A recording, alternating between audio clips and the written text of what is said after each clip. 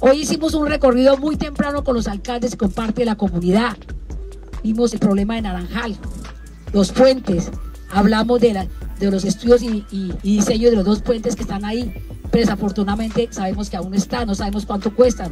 Hay una opción que hablamos que es un puente militar que se puede realizar en 15, 20 días, un mes. También miramos Chirajara, Chirajara ya en 20 días, un mes, mes y medio se está listo. Pero ministro, no tiene conexión con el túnel 13 y el 14. O sea, esa hora va a quedar ahí. También, ministro, nos preocupa muchísimo lo de Quebrada. Estuvimos ahí metidos en, en el túnel, lo que pasó en Quebrada Blanca y en el túnel falso.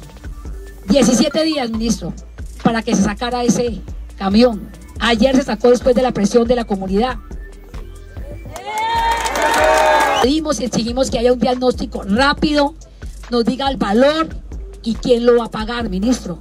Ahora que llegaba el alcalde y a veces eso también hablábamos, siempre pasa algo en, esta vía y no se sabe si es la concesión, si es el gobierno, si es la ANI. Queremos saber responsabilidades. Hoy vengo en representación no solamente del departamento del Meta, de Casanare, Bichada, Guaviare, de toda la región de la Orinoquía, que nos vemos afectados cuando esta vía que es la única arteria que tiene esos departamentos, se trunca.